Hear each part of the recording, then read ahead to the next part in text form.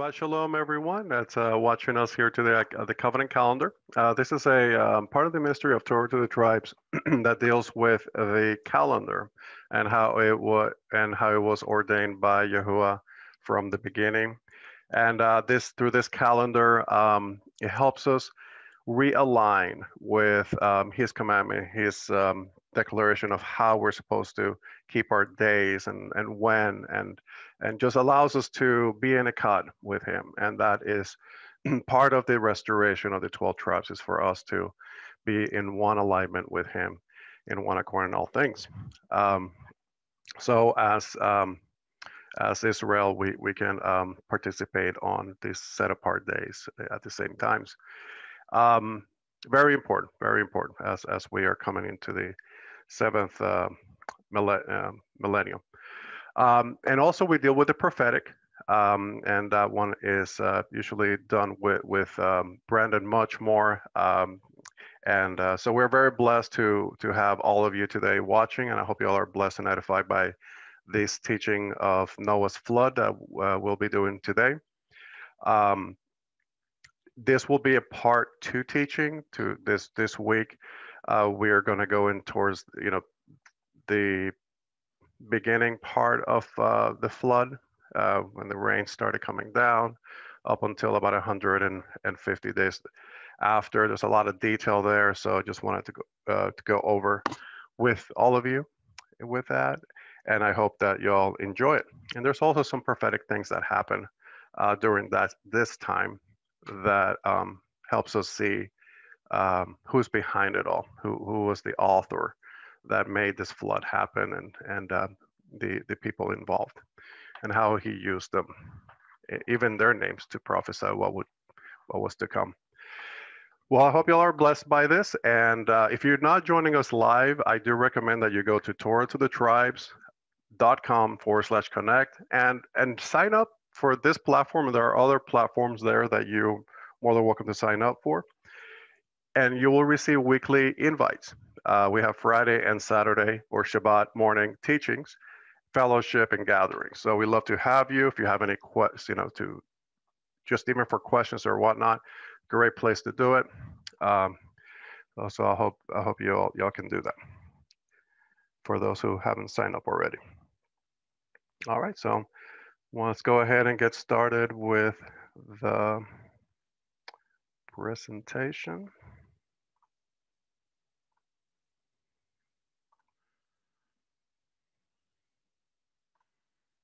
All right.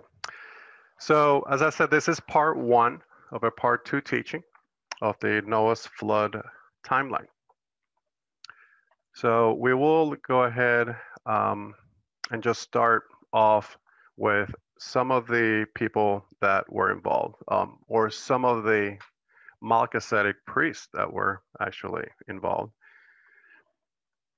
Because um, as we know, the even Noah was um, the eighth Melchizedek on the 10th generation. So, uh, and for those who haven't watched or or have a, a um, haven't been following um, some of Matthew's teaching, I do recommend it. Really gives you a lot, so much insight about uh, the how the line of Adam, who who the kingdom was giving to, uh, and lost it because of sin. Uh, through his line, we know that Mashiach came, but that's where he was the first priest, and, and he was um, um, created by Yahuwah, and then on through Noah, Shem, um, you know, all the way to Moshe. So anyway, wonderful teachings there, and I hope that um, that you can also get a chance to watch those. So we're going to discuss the timeline of Noah's uh, flood. Now uh, we'll start off with um, the very first scripture will be Genesis 5:27, and I'll read. So all the days of Methuselah, and who was Methuselah? He was the son of Enoch. He was also the father of Lamech and the grandfather of Noah. Uh, were 900 uh, and he was um, 969 years old when he died. 969 years old, the oldest man uh, to have ever been recorded in history and and uh, in, in the Bible. So um, I understand that there's even um, in, in, the first century there was even like diets that were made after him in his name to uh, to to be able people want to live longer, and so a lot of a lot of their dietary requirements require fruits and vegetables, and this was even recorded, like I believe, in the Book of the Essenes in the early first century.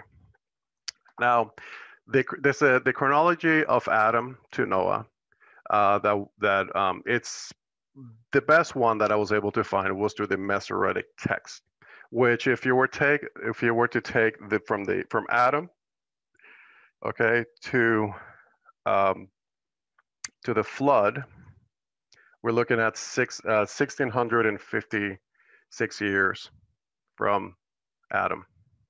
Okay. And uh, Methuselah also uh, was, you know, he died also on this very first, on this year, um, in the same year that the flood came as well. This is when Noah was 600 years old. Now, according to another study, um, because I, you know, because I, there, anyone has done or looked into this, some of them, some may have found, or you have found that some will use the the the Masoretic and some will use the LXX, also known as Septuagint. And so that gives you a different timeline of chronolo uh, chronological timeline. But we have to um, we have to look at and and and see well which one is going to stand up to truth more because you know we we are we are dealing with two different completely time, um, chronological as far as when it comes to timeline. So I'm going to just give you a little bit of evidence why the Masoretic text, uh, I believe, is more reliable. There was a, there was a, um, a study by the case of Septuagint chronology in, uh, in chapter 5 through 11, and the LXX primeval chronology with the creation date of 5,554. Um, and then the flood date uh, was 3298 BC, placing the flood around 2256 after creation. Now, in some LXX manuscripts of Genesis 5:25, Methuselah was 167 years old when he fathered Lamech, placing Methuselah's death 14 years beyond the flood. Now, the evidence strongly leads in favor that he died before the flood, of course. And we know this because eight survived, not nine. And we know their names. Now, uh, there are some discrepancies here, of course, that just don't don't really add up, right?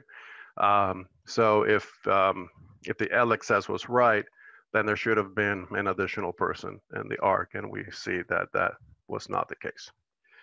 Now, I, I don't I don't agree um, with this chronology for for for that reason, and uh, and it and it doesn't also fulfill the prophecy in Genesis 1, 9 and 10. And this is the second day. This is when uh, during the second day of creation, the waters were divided from under the firmament, um, from the waters uh, above the firmament. The um, Yahuwah said, Let there be waters under the heavens, gather them together into one place, and let the dry land appear. And it was so. And as you all know, this happened on the second day.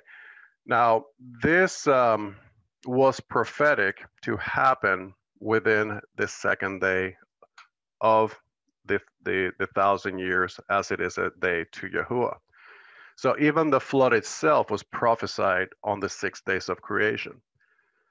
So again, if um, if he if there was to be um, uh, if this chronology, or at least the year chronology, uh, based on through Yahuwah's perspective, was going to be fulfilled in the second day. It had to happen between year 101 to year 1999.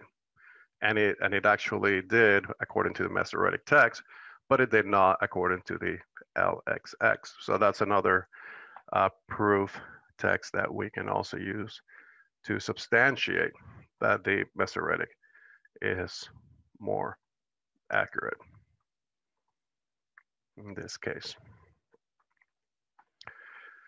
So what do we have um, as far as um, what do we have as far as uh, the flood? We have when did it happen, and and and who were the people involved, and and did Yahuwah give us a sign through the names of the Melchizedeks that this would happen? Well, look a little bit closer into Methuselah's name. Now, Yahuwah revealed his judgment of the flood upon the wicked at Methuselah's death. Uh, Methuselah's death would have happened on the year the flood happened, around when, when Noah was well, when, when Noah was actually 600 years old. Um, and so it happened between the equinox of year 1656 um, all the way up until the flood came. Now he Yahuwah cleverly incorporated this prophecy into his actual name. Uh, if you were to look in the Hebrew uh, name, uh, it means man of javelin or dart. Uh, his name, his, I mean, he shall send his, his, his death. Or when he is dead, it shall be sent. What shall be sent when he's dead? well, the flood, the judgment, the javelin. The, um, so, so the word metu in Methuselah uh, may also derive um, meaning or mot meaning death. Okay, and the the suffix means their or their death. So there was more than one. It was it was it was uh, his name actually is directed to many. Uh, we're going to die as a result. Uh, this was prophesied through Methuselah's death that the flood would come, and many would die from it. Now, Methuselah died when Noah was 600 years of age. And Genesis uh, 5:25 reads, "When Methuselah had lived 187 years, he fathered Lamech. Methuselah lived after he fathered Lamech um, 782 years and had other sons and daughters. Thus, all the days of Methuselah were 969 years, and then he died. Uh, Lamech uh, had lived 182 years. He fathered his son, and he called him Noah, saying, Out of the ground that Yahuwah has cursed, this one shall bring us relief for our work and from the painful toil of our hands. So if Noah was 600 years old when the flood happened, um, so Methuselah so if you add the 187 years and then 182 years, that is how it equals out to 969 years. Um, and that means that he died at the time of the flood, right before the flood happened. Because that's when, when Noah was 600 years old. Yeah, just uh, simple math. Okay, and then we have we're going to talk a little bit about the equinox. Uh, if you want a more detail, uh, the script, uh, study on that, um, we have done uh, a couple uh, in the past about what the Takufa is and where the what the equinox, which is very relatable because the Takufa itself um, is that point when the year ends. There's different cycles throughout the year. There's two of them and this is uh, the end of a cycle according to scripture and it's mentioned four times in the, in the scriptures.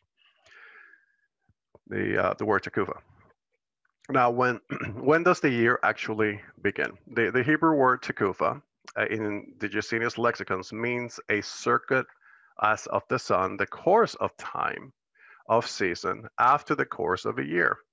And even if you were to look at the uh, the word um, year Shanah just really means the circuit of the sun as well. So the year is uh, actually um, related with the cycle of this, the, the sun, which ends at the Tekufa. Now, the Strong's lexicon defines it is a revolution, the sun's circuit, come about end. Now, the Word Study Dictionary defines it as the turning around circuit. The root word of tekufa is nakav, which by Strong's lexicon is defined as surround or circulate compass, go around or round. And you know, um, according to scripture, the circle of the earth. So you know, if you look at it from bird's eye point of view, you can see that it's it's uh, looks not only like a compass, but it's a circle. It's a circle, and this is why a lot of biblical um, scholars and, and studies lead to, uh, or um, through studies, um, you, you can ex, uh, extrapolate that there are so many um, evidences that show that the Earth is not what NASA is telling us it is. You can do your own research on that, uh, but it's definitely worth some of your time um, and to help you, uh, you know, align our the perspective of how the Earth is formed according to the biblical perspective and not man's perspective or wisdom, because the wisdom of man is foolishness to Yahuwah. So we just have to stick with his word.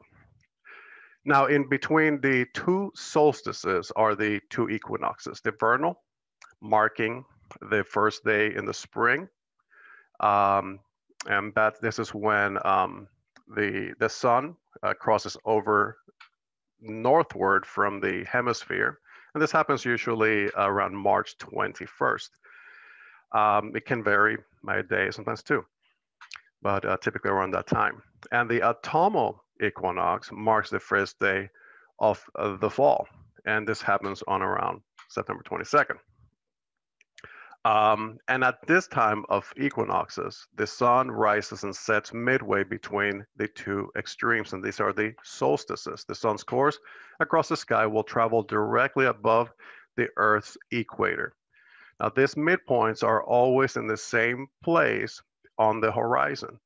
And the day of the equinox, the sun rises due east and sets due west, causing a wide shadow of no turning. Now, no matter how far north or south of the equator you are, on the equinox, the night, the night and the day are usually pretty close to equal length. Uh, and this can differ slightly uh, because sometimes of the atmospheric conditions. Uh, consider atmospheric re uh, refractions as well. Now, um, these, these, there are two equinoxes in one year period. As we know, we have the autumn and we have the um, vernal or the spring. Now, this comes from a commentary by uh, Philo Judaeus. You know, he was a Jewish philosopher, and uh, he talks about the Noah's flood. When did which equinox um, was uh, basically determined the beginning of the year? Was it the autumnal or was it the vernal? You're going to find some studies that will differentiate based on uh, their studies, uh, but uh, I would have to agree that this this happened during the vernal. Uh, the deluge, and I'll, I'll quote um, uh, Philo Judaeus. He says the deluge fell on the day of the vernal equinox. The first man who was produced out of the earth was also created uh, at the same season of the year. He whom the divine writer calls Adam. Okay. Um, so, and there are some other things um, that also can be understood why it happened on the vernal equinox as well. And I'm going to go over some some other things as well. That's going to help us, um, you know, hammer this down. Uh, as far as the um, so we have here the um, the vernal equinox. Um, now, the vernal the, the equinox um, for those who may not know, it, remember it's not the day the first day of the year. And this is the last day of the year. This is the sign that the sun gives us to determine when the year ends. And once we have that sign, because you know you have the greater and lesser light for what signs and seasons. So we have the sign of the sun letting us know when the year the, the cycle ends. And the very next day is when the year begins. So according to um, Exodus 12:2, Yahuwah told Moshe, this month should be the beginning of months, the first month of the year. Yahuwah said to Moshe and Aaron in the land of Egypt, this month shall stand at the head of your calendar. You will recon it the very first month of the year, this day in which you are going out in the month of Abib. Now, this verse indicates that the beginning of the year commences with the month of Abib, which means month of ripe grain, year of grain that points to the spring season. The commencement of the month of Abib is the day after the vernal equinox. Now, there are also there's also um, there's two beginning points in Yahuwah's calendar. Um, there's the uh, there there is the um, what someone would call the civil calendar, and that would be the uh, the beginning during the Feast of Trumpets, the beginning of that cycle, and then you have the spring. Okay, so but this is a calendar, so we do need to understand the difference because there are two beginning points throughout the year. And the calendar would be in the month of Abib, just like it is written in Exodus 20, 12, 2. Now, how many seasons are there according to the Bible? Um, well, let's let's find out through Genesis 22, uh, or actually 8:22, and we'll read. And it reads, uh, "While the earth remains, seed time and harvest, cold and heat, winter and summer, and the and the day and night shall not cease." So there's um, two seasons that we're showing here: the winter and the summer. Winter is defined as autumn as well. So there's like a uh, is connected. Autumn and winter are connected according to scripture. The season in which fruits are gathered is commonly includes also winter, and uh, thus the summer and autumn make up the whole year, according to um, uh, this uh, lexicon. On the Strong's, it reads the crop gathered, um, the autumn season, figure to um, ripeness of age, cold winter. Okay. So, and then we have the summer. And the Gesenius reads it as harvest of fruits, summer, as being the time of the year when the fruits are gathered. Uh, and the Strong's definition has it as harvest, where the products, grain, fruit, dry season, summer. So the spring and the summer, and then we have the autumn and the winters. But in the in, in, through the Bible sense, it's like they're, they're, there's like an echad, is they're, they're both combined into one, into two different seasons throughout the year. So this is what you will consider an antithetical point of view. It's uh, basically being in direct on unequivocal opposition, directing opposites or opposed. Um, and this is why in uh, Genesis 22, you have the seed time and the harvest, and you have the cold and the heat in the summer and you have the summer and the winter and the day and the night. So you have the two opposites. Okay, and we see that, of course, throughout the Bible. Light and darkness, right? And so um, we now go to the um, what happened. Just give you a quick summary of what happened um, during this time when when the when the flood, why the flood happened. Okay, so I'm sorry, did I? Oh, oh, I'm sorry. Let, I'll, before I do that, let me go ahead and give you some other scriptural references here. Uh, four scriptural references that uh, substantiate the the last slide, which this will give you some um, in, some additional scripture that uh, does have the um, antithetical um, seasons. Uh, here we have in Zechariah, um, we have um, in Zechariah, it reads, um, and I'll, I'll, start halfway between Jerusalem, half of them to the eastern sea and half of them to the western sea. It shall continue in summer as in winter. And then you have in the Psalms 74 17, you shall you have fixed all boundaries of the earth. You have made summer and winter. Again, we see that again. Isaiah 16, 6. And the birds of prey will, with, I'm sorry, will summer on them, and the beasts of the earth will winter on them. And Amos 3, 15, I will strike the winter house along with the summer house. Okay. I just wanted to give you some scriptural reference. Don't just take my word for it. um, All right. All right. So just a quick summary. In the account of Noah, the the uh, world grew so wicked. I mean, even people's hearts were just full with evil. Yahuwah decided to destroy all the life on the earth through the the flood. The judgment uh, was impending because of the evil of the world. Even the animals were destroyed. He saved only one righteous man, Noah, and his family. Yahuwah instructed him to build an ark to carry his family and a large collection of different animals to safety.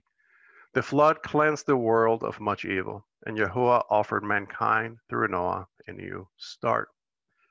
So in Genesis 5:28, Lamech lived 182 years, and his son, and he and his name was Noah, saying, "The one will comfort us concerning our work and the toil of our hands, because of the group, uh, sorry, because of the ground which Yahuwah has cursed." Now, this one shall bring, uh, according to verse 29, this one shall bring us comfort, relief. Whereas in opposition, you have the Canaanite Lamech that um, sought uh, to um, redress wrong through revenge. Okay, and according to Genesis uh, 4:26, but then they have the uh, Lamech from the line of Adam father of Noah, looked in hope to Yahuwah to provide the seed through whom comes deliverance through the curse. And that deliverance is through Yahushua. Now, um, Lamech named this uh, his son Noah, as right on 526. It points out the name to give rest uh, or comforter for he would give them rest from our work and toil of our hands because because of the ground that was cursed by Yahuwah. Noah is a reflection of Yahusha, who said, Come to me, all of you who labor and are uh, heavy laden, and I will give you rest. So Noah was a type of Yahusha um, that you know, this is the ark, and we know that um, uh, according um, to uh, to Peter, we have a judgment that is is, is not going to be by flood, but by fire. So we're going to, we're going to see we're going to have to be in that ark, in the ark of the, you know, the covenant. We have to be in the covenant of Yahusha if we're going to survive the second judgment that is to come. So Noah was considered a righteous man, and his faith uh, was seen because he was able to build the ark. You know, he, he, his faith was shown by his obedience to do what Yahuwah told him to do. As we also today we need to be obedient to what he says, so we can also be saved.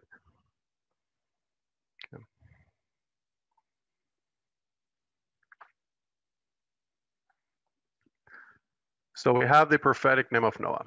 Uh, the verb Noah means to come to rest or to cease. Uh, it means quietness or quiet attitude. Um, this verb denotes a coming to rest, usually after a period of unrest and mobility, just like it happened before the flood. There was unrest, and um, rest did come after. It is used to indicate the end of a journey according to Genesis 8:4. Or the camping of any army and even the resting of a spirit upon someone. Okay.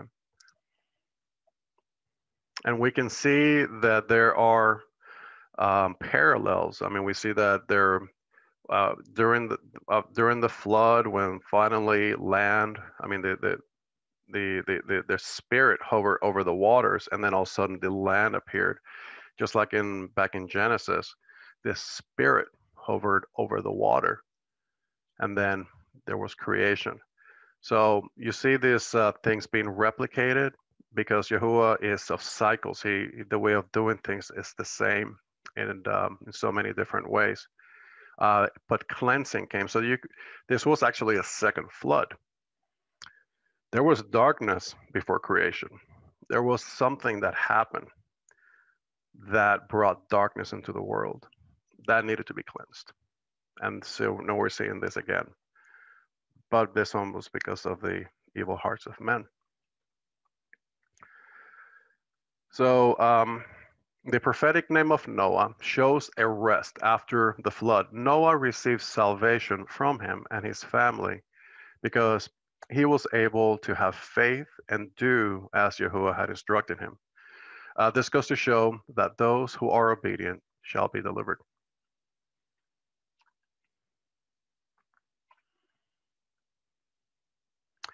Now, did Noah begin to work on the first day of the week? Let's read what Genesis uh, um, 7 1, and we'll, we'll just go verse by verse here. Uh, Yahuwah said to Noah, Come into the ark, you and all your household, because I have seen that you are a righteous, you're righteous before me in this generation. Um, so, so Noah was taken into the ark. Uh, so he would be given the instructions of what to do for the next few days before the flood came. Noah needed to start putting in the animals in the ark on a workday, of course, because Shabbat was not established in Mount Sinai. Shabbats were established on creation. We know that Yahuwah rested from all his works. And as we emulate our Creator as he created us, we too had had two days of rest. And this was actually seen before even the covenant was ratified. You can hear some say, well, Shabbats did not um, exist before, but they did. Um, and that that's actually a seen because Shabbat was made for man, not man for the Shabbat. So uh, the whole world is supposed to eventually keep Shabbat. Um, and draw them into covenant, draw them into um, being grafted and so they can even be more fruitful, um, being, um, you know, keeping all the feast and all that as well. I won't go into that though. so then we have, uh, so, um, so what we have here, uh, commanded Noah to start loading up um, on um, which I'm, I'm, still doing a study on this. There's another viewpoint uh, which I may bring, may bring forth, but I'm still working on the study of which day of the week this happened. We know the year already. Uh, we know the duration, the timeline, and all that. But which day of the week? That's that's that's um, that's also, I believe, very pretty important as well. And we'll we'll, we'll see some connections. But I've seen some connections in, in a couple of the two different uh, studies. On Genesis at uh, 7 2, you can see what he had to do during this seven day period. Um, well, of course, one of them had to be a Shabbat, so he had to work six days, not not the seventh you know, all seven. So you have here take a clean, uh, take a seven of each clean animal, male and female, two of each animal that are unclean, male and female, male with female. Also seven um, each of the birds of the air, male and female, to keep the species alive on the face of all the earth. And then on Genesis 7 4, for after not seven, but not seven more days, but after seven more days, I will cause it to rain on the earth 40 days and 40 nights. And I will destroy from the face of the earth all living things that I have made. Now, um, so what does, so what are we looking at here? We're looking at, um, um, we're looking at Yahuwah giving Noah the orders to start filling up the ark. Okay and and then the flood would come. Now we can and all the and all, the, all this happened when Noah was uh, you know uh, 600 years old when the floods ended up coming after seven more days. So this is like I said, this is this is something that this was one perspective. Um, I'm still which I'm still studying the day of the week. Um, but in regards to this, um, you have you have a um, here is when he was given the instructions on, I believe it was either the first day or Shabbat. Okay, uh, there's other variables that we have to consider when looking at this. It has to be um, uh, in harmony with the rest of the scripture as well. So what we have here, the flood didn't commence until the seventh day after Yahuwah had commanded Moses to place the animals birds of, uh, in the ark. Now, uh, there's a comment commentator, um, Adam Clarke, I'm sure many of you know. He said God spoke this words probably on the seventh day, uh, and I can see why you would think that. It's because he gave the order for them to start working during this time. Okay. So you have seven days to, um, well, six days to work, and then on the seventh day would al- would also be a Shabbat. Okay, so a Shabbat, seven days, and then a Shabbat again when the flood started. Uh, so it's, so it's more reasonable that they would have done this by the time the floods have come. Uh, and um, and Yahuwah works, you know, like I said, in, in, a cycle of seven days. There's labor, so Yahuwah um, gave them or provided for them six days to do all their work, and then the rain and then the rain came. Okay. Um, if if he did it on the first day, we could see that Noah could have had started work on the first day of the week already, and then the rain came, and then the first day would have been of the week would have been the flood that came. That also is a very probable, and I, I may lean to that as well. Be, uh, more may, well, I'm, I'm still I still look at I have some other areas of the scripture I'm, I'm still looking at, but um, like I said, this is um, this is one scenario. Okay.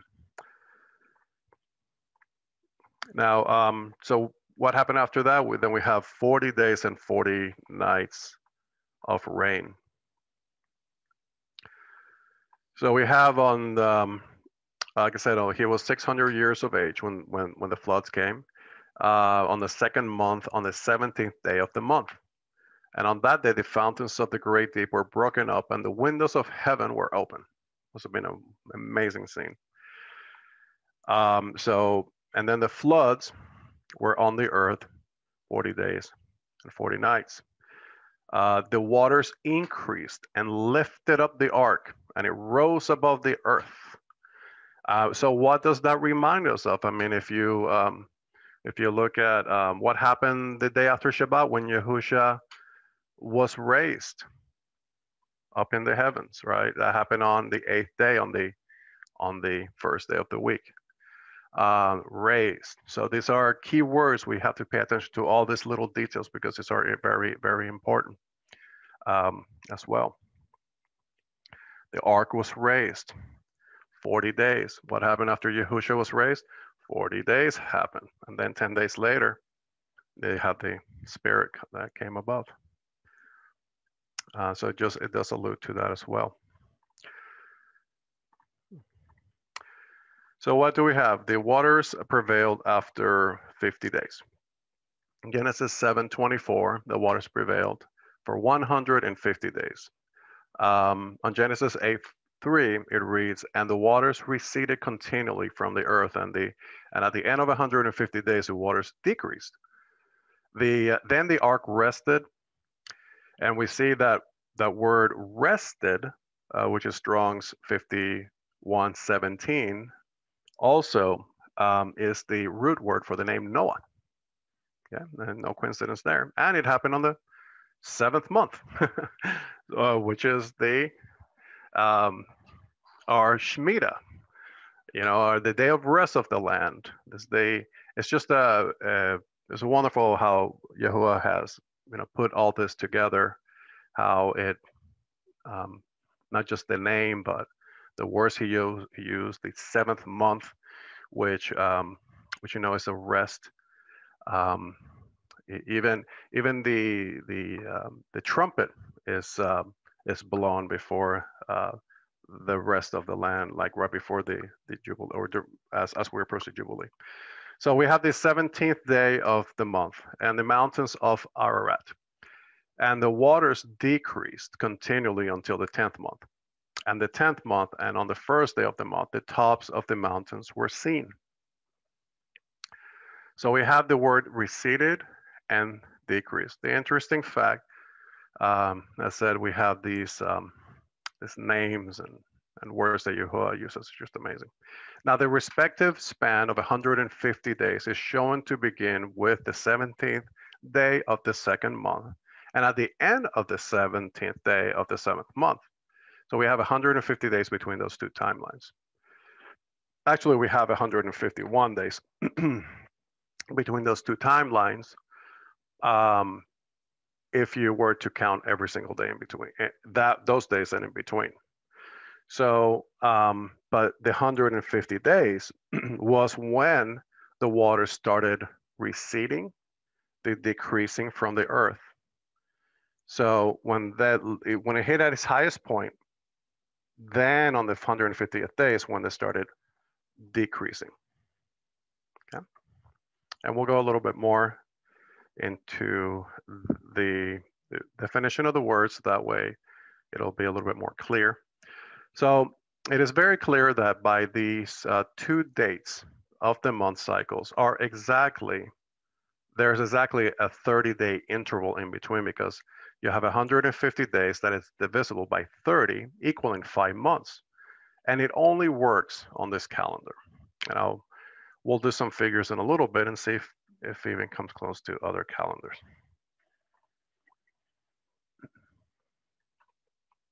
All right, so we have the, the word receded and decreased. And so the word receded, a shub, verb meaning turn, to turn, to go back, to withdraw, to bring back, to reestablish uh, to, um, to take, to restore.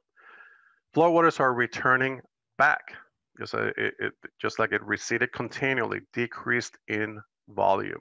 Okay, just and then you have decreased uh, is uh, the verb indicating lacking, to be needing, to decrease, indicating a diminution of flood waters, just like in Genesis 8:3. The waters receded and decreased enough by the end of 150 days, and as a result, the ark rested on the following day, which was the 17th day of the seventh month. So until the 16th, this is what happened. The next day is when the ark rested.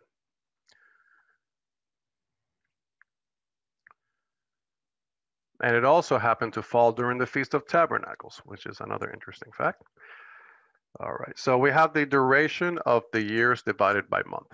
So we have, so we already know that there is 150 days between the 17th day of the second month to the 17th day of the of the um, seventh month. So we have 150 days. Well, let's go ahead and take a look at um, some calendars that many of you already know and see through math um, if they um, match what the scripture says.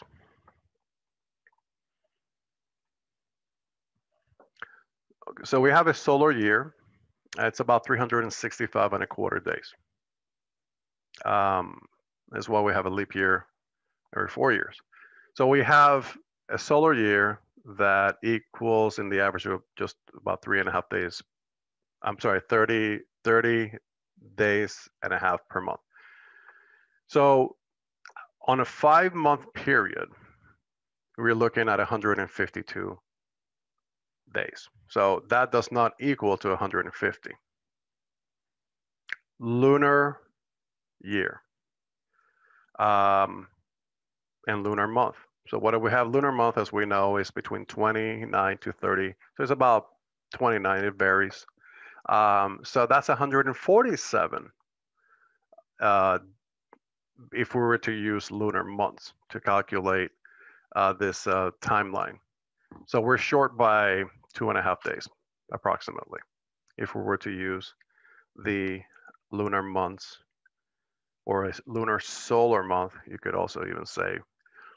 Um, so their months would not add up to what the Bible says. And then we have the Enoch, which is 364. Um, and this was a hundred, this equals to 151 and a half days. So that again does not equal 150 days. So, you know, and, and some may say, well, it's 151. Well, even then it doesn't even equal to that even. So there, there are discrepancies, as you can see. It does not equal to that at all. Uh, but there is a calendar that it does, and that is the actual calendar that was ratified at the mountain. And this was 360 day calendar with exactly 30 days per month, you know, in a 12 month period. Uh, sorry, 30 days times 12 is 360 days. Uh, and so if you take 30 times 5, it's 150 days exactly, just like the Bible says. These right here, we try to inject this information into the Bible, but the needle breaks. You cannot add something that is not set apart into the scripture without having the scripture itself rejected. So as we can see, there are no substantial evidences that this is going to hold up at all. It would have to be 100. It, it's 150 is 150 days, just like the Bible says, and it was a five month period. So it works on this calendar, whereas the other ones do not. And do we live in a 365 day year? Absolutely, we do. That's a reality, but we do know that times were changed during the time of Hezekiah around 700 BC. Um, there was a, a, disalignment of the moon, the sun. There's a lot of things that happen. Uh, there is a lot of um, civilizations during that time who had to restructure their calendars because of this change that happened in the heavens. So it wasn't just recorded in the Bible, it was recorded in extra biblical resources as well.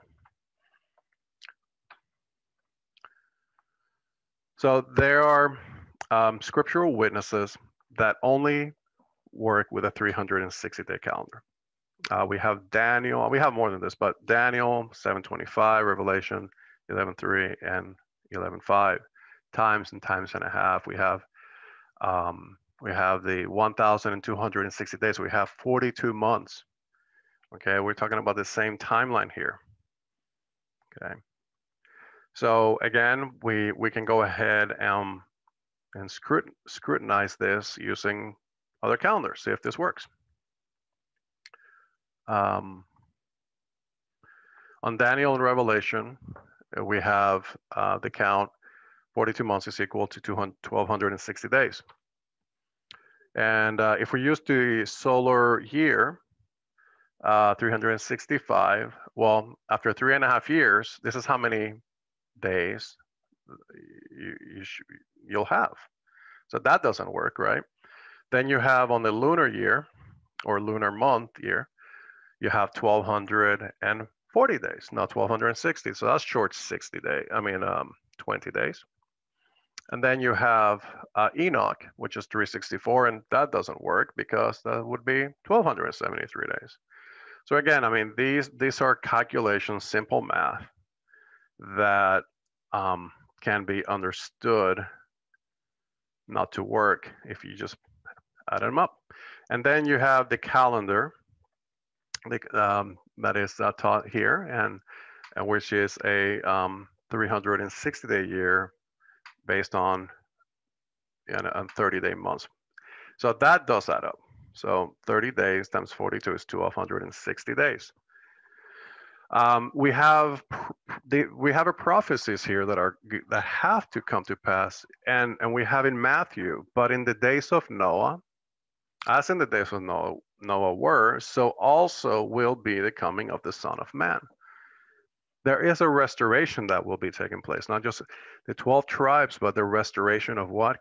Being able to allow us to, to uh, enjoy his feast in the same months and the same days, enjoy and, and do things according to his will. So there's a restoration of understanding with wisdom the scripture so we may be able to walk in his instructions according to what he wants, not what man wants.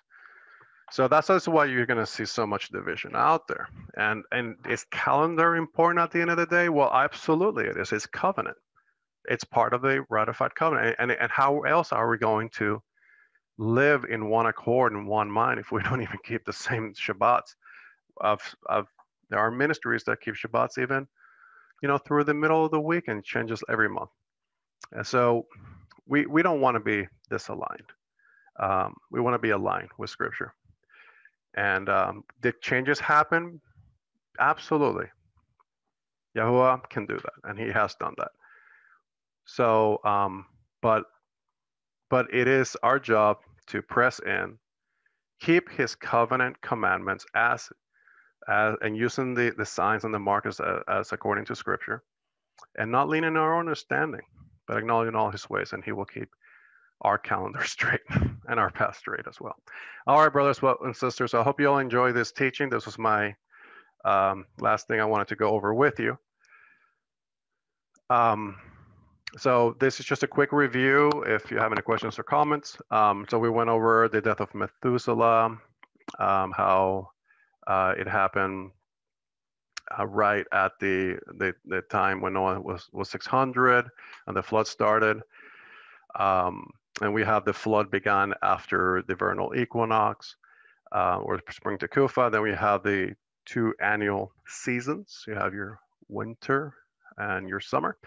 Uh, the flood began on the seventh day, or did it begin on the first day? Still working on that study.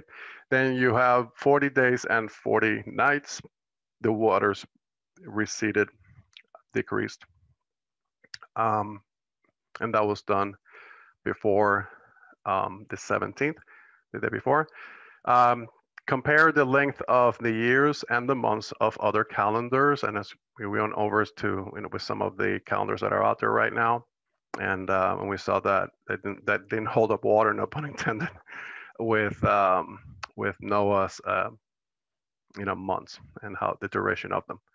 So we have a 360 day year as seen in Daniel Revelation. Of course, these our future future events, which I, I truly believe that this will have to happen before these prophecies will come to pass. Um, so, let's, so it's good to be watchful for this time to change back. All right, well, may all of you be richly blessed on this wonderful Shabbat. And if you have any questions or comments, please feel free. And remember, if you haven't signed up, sign up at torahtothetribes.com forward slash connect. Join us every week. And um, we'll fellowship, we'll, we'll talk, midrash, whatever we need to do to uh, sharpen each other with the word. Well, blessings to all of you, and may everyone have a blessed Shabbat.